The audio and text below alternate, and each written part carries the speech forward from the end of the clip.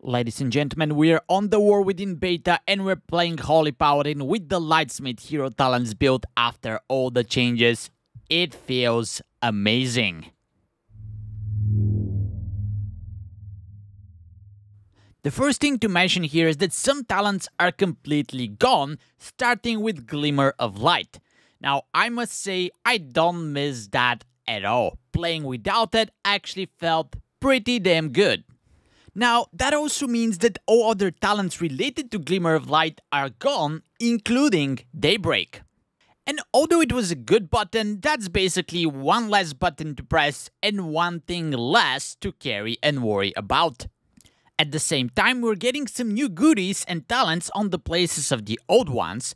For example, your Word of Glory and Light of Dawn now have increased critical strike chance based on your target's missing health, your judgment now heals you, and if you overheal, that's transferred to allies nearby, and the damage reduction effect that was bind to the Glimmer of Light is now embedded into your Beacon of Light. So those changes alone make the class feel much better already, but then we get the hero talents. The main idea behind Lightsmith is that you get a new skill and don't worry about the tooltip here, I'm gonna summarize it for you. The first time you cast the skill, you throw a shield to an ally, which absorbs 50% of your maximum health instantly and then 2% every 2 seconds for 20 seconds more, which is 10 additional percent. The second time you press the skill, you throw a weapon to an ally, which starts to deal extra damage or healing based on the abilities that they're casting, and the value is increased if they're hitting just a single target. The best part is, those abilities are duplicated on yourself when you cast them on an ally, so you basically get double the value. The abilities themselves are overpowered, the shield makes you even tankier than before, and you get to save an ally, which could as well be your tank. And at the same time, the weapons contribute a good amount to your overall healing, anything between 5 and 10%, while the damage... Well, the damage is broken right now on the beta. For some reason, it's doing insane amounts of damage, you're out DPSing tanks and even DPS sometimes easily, and that's obviously going to get fixed. But damage aside, the healing from the weapons is passive and it's not a smooth cooldown that you can feel once you press it, it's more of an overall contribution, pretty much like Tyr's Deliverance, which is there for you throughout the dungeon, and the uptime is actually quite good because on top of you casting the skills, you can actually get free procs every now and then by just using spells and abilities, which could be the shield, could be the weapon, but then you're guaranteed to get a weapon once you proc your wings throughout the capstone talent, which not only gives the weapon to your target, but it also echoes the holy power abilities that you're casting to them. It's also worth mentioning that you have two charges, and while you want to cast the weapon on cooldown, you can stagger casting the shield a little bit because when it's up, the second charge is recharging, and you can stall a little bit the defensive cast. Of course, there's more to the hero talents. A pretty interesting one makes your consecration do instant healing and damage based on the holy power abilities that you spent before, and this one is stacking. Now, my first thought was, can I stack this to the infinity? Well, the tooltip doesn't say it, but it's limited to 5 stacks maximum. Still, that's a quite fun one. It didn't do a lot of healing, it was like 2.5% uh, of my overall, but it did significant amount of damage. So I think that's a pretty nice addition to our toolkit. Another interesting one, your critical strikes with Judgment spread a little bit of healing around your target, and the amount here is actually not that big, but considering the other talent that I showed you earlier, Judgment healing yourself and spreading the overhealing around you, that's basically a small synergy that it's quite welcome. You also get a talent that gives you free infusion of light every time armament fades away from you, and that's actually quite good because every time you consume infusion of light, the cooldown of your armament is decreased by 3 seconds.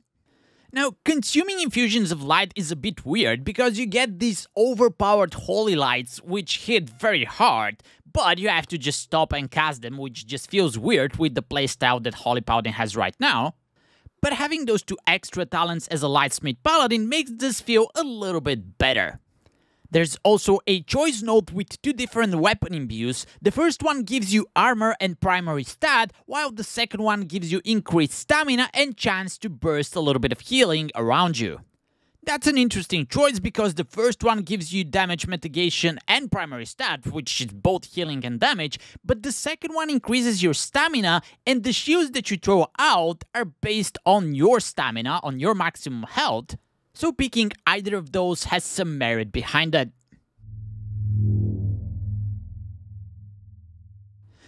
Obviously, it's not all good. There is this very weird talent, for example, which just increases your active aura effect by 33%, only on targets with your armaments on them. But all things considered, that's a very small fraction, so it's kinda like an useless talent. And then we have completely useless choice node, and as some of you pointed out in the comments below, this is probably good and viable in PvP, but picking any of these two talents in either Raid or Mythic Plus feels like a complete waste. Despite all of this though, my biggest criticism to the Holy Armaments build is actually Blessing of Summer. And yes, that's a choice node. It's not something that you need to pick, but it's optimal to choose that on top of the Merciful Auras in Mythic Plus specifically. And once you do that, it becomes a nightmare because the Holy Armaments is two spells that you need to track, Blessing of Summer is four other spells that you need to track, which one is next, who you're casting it on, do you need to stagger it a little bit so it aligns with cooldowns, it just becomes way too much. I'm definitely not a fan of such a type of a playstyle and spells, so I even ended up picking up Merciful Auras in Mythic Plus, although I know it's suboptimal, but there's things to be considered here. Either Blessing of Summer could be completely removed, I don't think anyone's gonna feel sorry about this, or at least in the Lightsmith talent build, the Holy Armaments could actually replace Blessing of Summer, so you're actually stuck with only one button that you need to press and alternate between skills. I think something like that is going to make miracles with the playstyle of Lightsmith Paladin and make it much more smoother and easy to flow. And last but not least, we should mention this in raiding environment. I haven't tested it there, but I just don't see how it's going to compete with the other hero talent build, Herald of the Sun. Throwing the shields on your tanks every now and then is going to feel pretty good and it's going to help a lot, but outside of that, the healing from the sacred weapons doesn't seem to be where it needs to be to be competitive in raid, and even if the damage is fixed, nobody cares about damage in the raid environment anyway. The rest of your hero talents also do not contribute that much to your HPS. The extra damage for consecration is nice, but the healing is definitely not where it needs to be for raid. So I think this could be quite viable in Mythic Plus, of course, it all depends on the tuning of the damage of the sacred weapons, but in Raid, you're probably going to lean to the Herald of the Sun. So, my final verdict is that this is definitely fun to play in dungeons, and it's probably going to be the a little bit safer approach to pick there instead of the other hero talents.